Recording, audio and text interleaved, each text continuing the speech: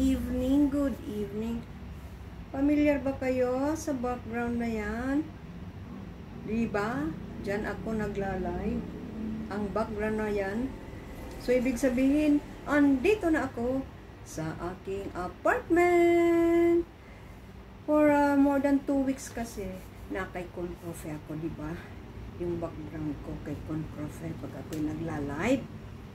So, umuwi ako kasi uh, sana sa Monday is maging okay na sa work. So, ito ang magiging problema ko kung paano na ang pag uh, pag kuha ko ng panigbago kong uh, slot ng uh, live streaming ko.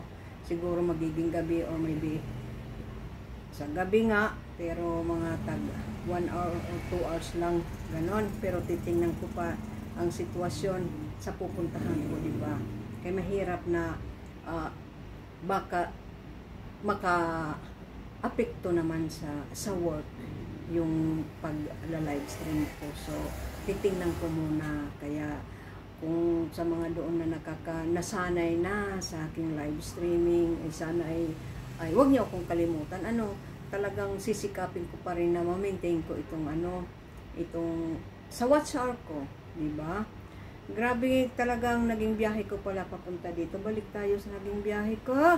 Akapoy, agool. Sa waray, magool. Makapoy, traffic. Kasi, it's Friday. So, it means talagang mga pauwi yung mga tao, yung mga estudyante, punuan, traffic. Umalis ako doon kay Kun sa lugar ni Kun Profe. Parang mga 2 p.m. pa lang, 2 p.m. So, ngayon, no, now the time is 8 o'clock in the evening. Ha? Sa pag, oh, wait ko dito, sa lugar ko naman na. Kung baga sa ano, talagang uh, malayo talaga ang lugar ni Conprofe. Tapos, yun nga, traffic. Talaga, agutom. Agutom ako. So, ang bin, ginawa ko na lang is bumili na lang ako sa ano, sidewalk ng chicken. Ang tatlong piraso, kung sa pera natin sa Pinas is maybe 30, 30 pesos, right? And then ito ang rice nila. Ang kada pakete nito ay 5 uh, baht here, 5 baht, which is I think uh, mga 7 or 8 uh, pesos sa Pinas. So this is uh, they call this one sticker rice. Oh, malagkit na kanin to pero dito talagang sa atin 'di ba biko ganun lang ang gamit dito pero dito this is kanin kanin i-prepare natin dito sa manok. Dahil nga sa gutom na ako, wala na itong pakeme-keme. Pero bahala na ang kung ano ang kuan, kung ano ang ulam, basta meron ako. Coke. O, di ba? Hindi pwede itong mawala Oh, sabi nga, mawala na ako ng trabaho. Mawala na ako ng work. Basta mayroon akong coke sa ref. Ganon. Oh. Grabe. Grabe ang biyahe. Kasi, matatawa kayo. May, may, may, may kikwento pala ko sa inyo. No? Share, share ko sa inyo. Ang naging, ano, ang naging lakad ko nung papunta muna ako. Kasi, nung nandun pa ko kay Concrofe. So, okay ha? While I am uh, telling the story, I have to eat. Nung nandun ako kay Kung Profe, around 12 p.m., nakareceive ako ng call. Ang akala ko, ang tawag na yon, siyempre, boses lalaki. Ang akala ko, galing sa agency na nag, uh, uh, naka, nag follow up ba sa job na gusto kong applyan. So, I thought na it is about work. So, ako naman eh, ang katangahan is kakambal ko na eh. Tanga pa siya po. Pasensya na niyo. Magsagal ako, yes sir, okay sir. Eh yung pala eh, hindi pala pa ano sa ano, Diyos mio, hindi pala related sa work. Na nagsigi-sige ako na meet up, kaya akala ko may pipirmahan about sa contract, ganun-ganun, kakasapin ulit ako for a uh, proper, ano, uh, ganun nga, sa kontrata. So, sinabi niya kung saan lugar na alam ko naman, So, alam alam ko na mapuntahan yon So, mula kay kong profe, sumakay ako ng bus. Ah, tatanga-tanga pa ako. Sabi ko, Kon, tawag na naman ako sa messenger. Kon, nangiistorbo ka ko. Na, nasa ano siya, nasa live siya ni Tay Bambirarican. Sabi ko, Kon, tatawid ba ako? Kasi, syempre, di ba, di mo alam kung ka, sa, sa right na side o sa left na side, yung pupuntahan mo sa pagsakay ng bus, o sabi niya, tumawid ka. And then, yung number ng ano ng bus is 68. Bago ka sumakay, tanungin mo kung papunta nga doon sa lugar. Sakay na ako. And then, pumunta na ako doon sa sa sa mall na napag-usapan namin. Natawa ako nung nung tinawagan niya ako na are you there? Are you here? I am here now in ano in Damonta So, yes, yes, I'm here. I'm here in the gate, ganun ganun. So, pagkita ko pa lang sa kanya, naka-short.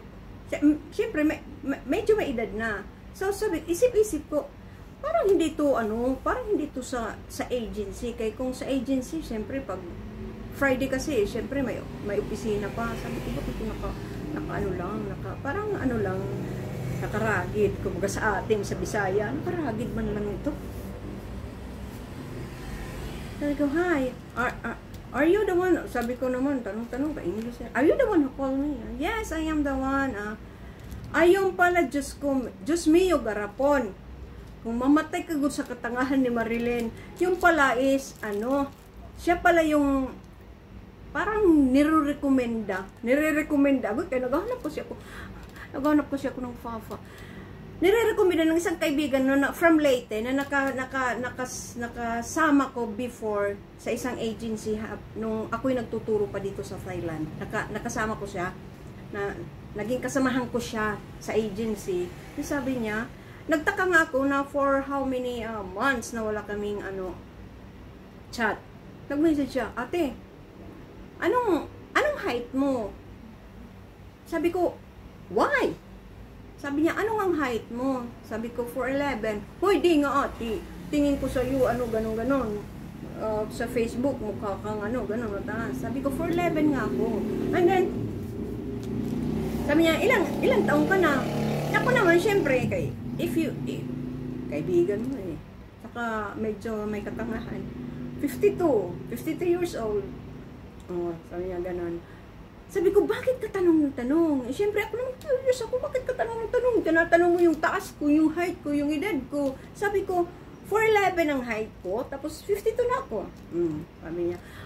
Sabi ko, bakit ka tanong-tanong? Ate, kasi ano, mayroon kasi akong kasamahan, kasama sa, lagi sa church, ganon, na, pero hindi niya sinabi kung anong lahi. Basta ganon na, ano na daw siya, 50, 56 years old, ganon. Naghahanap daw ng, ano, ng magiging girlfriend. Naghahanap daw ko na ng uh, uh, serious uh, re, nga relasyon. Eh, sabi ko naman, eh, ako naman eh, char. Sabi ko, sige, sige, sige, ibigay mong FB ko. Sabi, gano'n naman. Mm.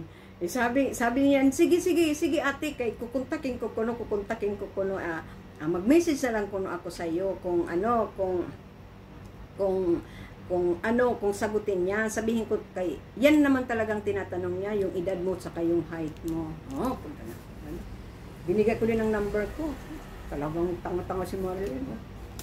Eh di, yun nga, nung may bigay ko ng mga, kasi gi-message ako ng kaibigan ko around 11 o'clock, and then I received a call around 12 o'clock on a, on a man's uh, voice, ganon. No, ganon, ganon. Ako siyempre pagtawag, English, English. Tapos, sabi ko, siguro sa agency na ito, excited naman ako kasi lunis na ako pupunta doon sa bahay na magiging trabaho ko. So, ang pagkakala, akala ko talagang sa mag, magpirma-pirma na ba ng kontrata? Diyos ko, ano ba ito? Sabi ko, sino ako, kung, confe, alis na ko, gano'n, gano'n, kahit nakaimpake ng damit ko, alis na. Pagdating ko doon sa mall, sura nito. Sige, are you lean? Ganun, ganun. Say, yes, I am lean. Ah, do you want something to eat first? Eh, syempre, napaisip na ako. Syempre, kung galing ng agency, hindi yun magtatanong kung kumain ka na. Kasi, iba naman yung about naman business yung ano nyo eh, di ba? Sabi ko, may gusto ka bang ano, ano, drinks or uh, you want to eat?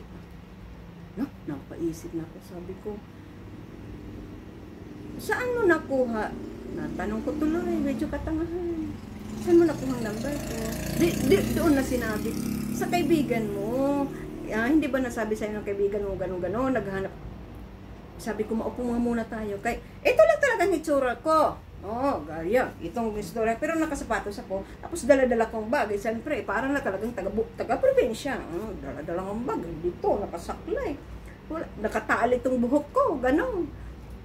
Nasa katami, naka, naka, nakamas pa ko. Sabi, sabi, sabi niya, ganito kasi, ah, ano ako, divorce ko, no. Naghahanap ko no ako, natameme na ako.